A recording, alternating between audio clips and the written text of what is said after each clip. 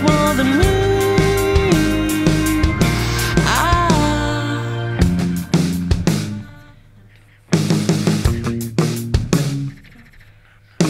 What is the end of